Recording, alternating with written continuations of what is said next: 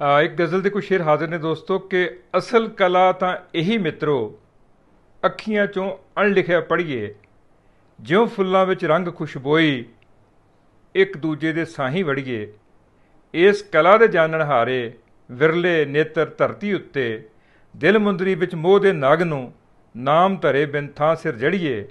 ਵਕਤ ਦੇ ਕੋਰੇ ਵਰਕੇ ਉੱਤੇ ਇੱਕ ਅਦਵਾਕ ਨਵਾਂ ਹੁਣ ਲਿਖੀਏ, ਲਿਖਣੋਂ ਪਹਿਲਾਂ ਬਹੁਤ ਜ਼ਰੂਰੀ ਪਹਿਲਾਂ ਲਿਖਿਆ, ਕੰਧ ਤੋਂ ਪੜ੍ਹੀਏ, ਸ਼ਬਦ, ਸਲੀਕਾ, ਤਾਲ ਤੇ ਸੁਰ ਦਾ ਸਹਿਜ ਸੁਮੇਲ ਪਰੋ ਕੇ ਸਾਹੀ, ਬੀਤੇ ਨਾਲੋਂ ਸੋਹਣੇ ਸੁਫਨੇ ਵਰਗੀ ਸੂਰਤ ਕੱਲ ਦੀ ਘੜੀਏ, ਵਕਤ ਬੜਾ ਬੇਰਹਿਮ ਲਿਖਾਰੀ, ਵਕਤ ਬੜਾ ਬੇਰਹਿਮ ਲਿਖਾਰੀ, ਪਲ ਪਲ ਦਾ ਹਰ ਲੇਖਾ ਰੱਖਦਾ, ਫਰਜ਼ ਵਿਸਾਰ ਨਾ ਗਰਜ਼ਾਂ ਪਿੱਛੇ, ਤਲਖ ਸਮੇਂ ਦੇ ਤੱਕੜ ਚੜੀਏ ਤਨ ਦੀ ਮਿੱਟੀ ਖਾ ਜਾਂਦੀ ਹੈ, ਸਿਰ ਨੂੰ ਚੜ ਕੇ ਰੇ- ਰੂਹ ਦਾ ਰੇਸ਼ਮ, ਤਨ ਦੀ ਮਿੱਟੀ ਖਾ ਜਾਂਦੀ ਹੈ ਸਿਰ ਨੂੰ ਚੜ ਕੇ ਰੂਹ ਦਾ ਰੇਸ਼ਮ, ਜਿਸਮਾਂ ਵਿੱਚ ਗਵਾਚ ਨਾ ਜਾਈਏ, ਰੂਹ ਦੇ ਕੁਝ ਤਾਂ ਅੰਦਰ ਵੜੀਏ,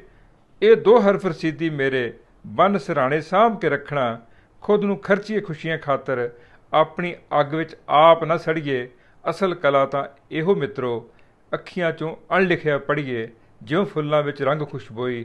ਇੱਕ ਦੂਜੇ ਦੇ ਸਾਹੀ ਵੜੀਏ, ਇਸ ਕਲਾ ਦੇ ਜਾਣਨ ਹਾਰੇ, ਵਿਰਲੇ ਨੇਤਰ ਧਰਤੀ ਉੱਤੇ, ਦਿਲ ਮੁੰਦਰੀ ਵਿੱਚ ਮੋਹ ਦੇ ਨਗ ਨੂੰ ਨਾਮ ਧਰੇ ਬਿਨ ਥਾਂ ਸਿਰ ਜੜੀਏ, ਇਹ ਦੋ ਹਰਫ ਰਸੀਦੀ ਮੇਰੇ ਬੰਨ ਸਰਾਣੇ ਸਾਂਭ ਕੇ ਰੱਖਣਾ।